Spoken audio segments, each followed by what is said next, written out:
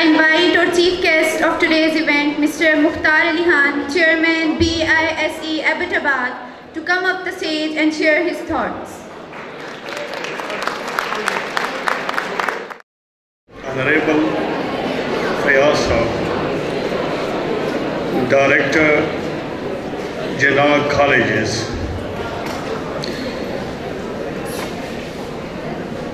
Iftikhar Sahab, Principal Police Institutions, Mansehra, Dr. Sahab from ComStat University, our chief, gue- our guests from our dear friends, uh, country China, distinguished guests, dear students, Assalamu alaikum. सबसे पहले तो मैं इस college को जो आज उनके celebration है सिल्वर जेबरी के हवाले से मैं मुबारकबाद देता हूँ कि इन्होंने एक संगीवीर को अबूर किया। And I feel privileged and honour to be here while celebrating this ceremony यकीन पच्चीस साल twenty five years it's a long journey और ये जर्नी अभी इनकम्प्लीट है। इन्होंने आगे बहुत सारे मराहल और कामयाबियाँ हासिल करनी है। मैं चंद चीज़ें बताऊँगा that I see very much important और वो ये है कि quality of human resources they are important और जब हम क्वालिटी ऑफ़ ह्यूमन रिसोर्स की बात करते हैं क्वालिटी कहाँ से आती है? ह्यूमन एजुकेशन से और वो भी क्वालिटी एजुकेशन से quality education that should be our priority और अगर हम क्वालिटी एजुकेशन को अपनाएँगे उस तरफ़ जाएँगे तो ज़ाहिर इस मुल्क का तकदीर, इस मुल्क को हम चेंज कर सकते हैं। And that should be our priority Pakistan facing two problems that is on two on on uh, economic fronts and on education fronts. और आज हम देख रहे होते हैं कि इकोनॉमी के जो प्रॉब्लम्स है basically that is a big problem and similarly we have problem so far as our education is concern लेकिन हम इस इकोनॉमिक प्रॉब्लम को एड्रेस कर सकते हैं that is through education not only education but through quality education और अगर हम क्वालिटी एजुकेशन की तरफ़ हम जाएँगे तो हमारी इकोनॉमी इम्प्रूव होगी और इसके अलावा एक प्रॉस्पेरिटी इस मुल्क में आ सकती है और हम इस मुल्क को चेंज कर सकते हैं।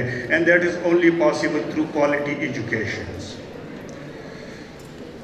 जहाँ तक हमारे प्राइवेट सेक्टर का ताल्लुक है आ, इनका बड़ा रोल है एजुकेशन के डेवलपमेंट में।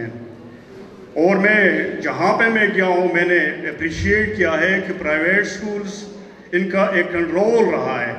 गवर्नमेंट के पास इतने रिसोर्स नहीं हैं कि वो इतनी बड़ी आबादी को क्वालिटी एजुकेशन दे सके। लेकिन अगर क्वालिटी एजुकेशन आई है तो हमारा प्राइवेट सेक्टर्स का इसमें बड़ा रोल रहा है and very much appreciable role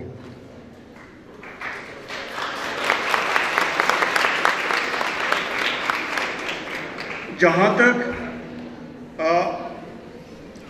quality education की बात है, हम देखते हैं तो हम इसको टेस्ट करते हैं। और टेस्ट एग्ज़ाम सिस्टम से और जब हम एग्ज़ाम की तरफ़ जाएँगे तो सारे इस क्वालिटी के एजुकेशन को हम टेस्ट करते हैं कि हम कहाँ खड़े हैं। लेकिन प्रॉब्लम यही है कि हम ओवर द ईयर्स हम उसको बेहतर नहीं बना सके। एज अ चेयरमैन जब मैंने दो साल पहले चार्ज लिया उस वक़्त मेरी कोशिश यही थी कि हम इस क्वालिटी को बेहतर बना सके through our exam systems but unfortunately इस दौरान कोरोना आया और मैं, हम वो नहीं कर सके जो हम करना चाहिए।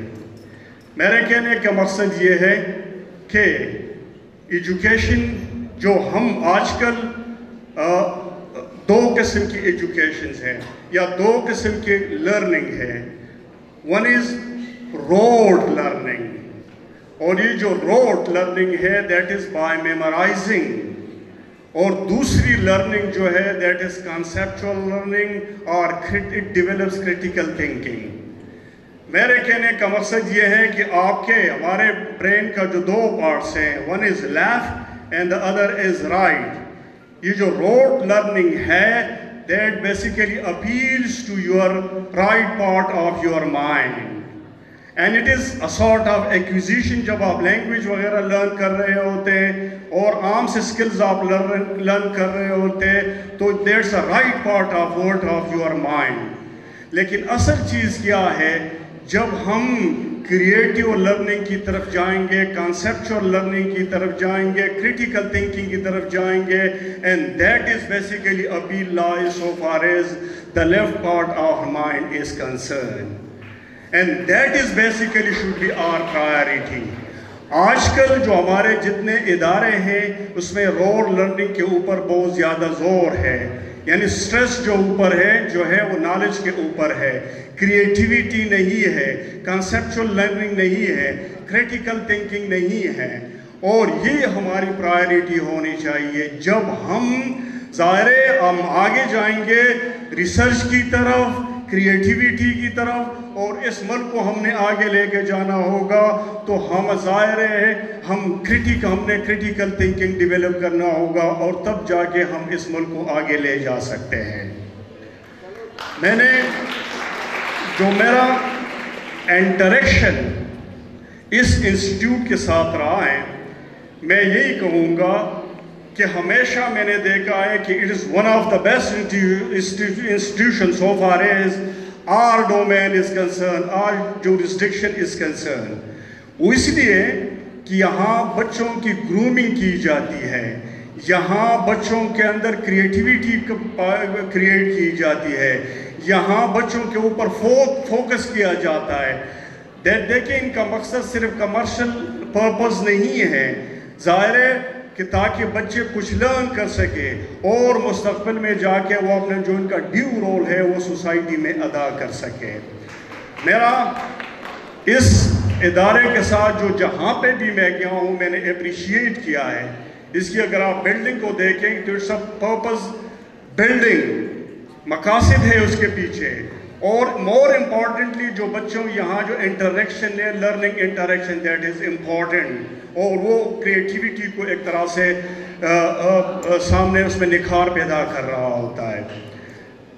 आ, मैं जब भी मैंने इंस्टीट्यूशंस को देखा स्पेशली जना कॉलेज को तो किसी हवाले से हमारे इनके समेरे फयाज साहब के साथ ताल्लुक़ है लेकिन आज तक इन्होंने बोर्ड्स को कभी भी अप्रोच नहीं किया है और अनड्यू फेवर लेने की कोशिश नहीं की।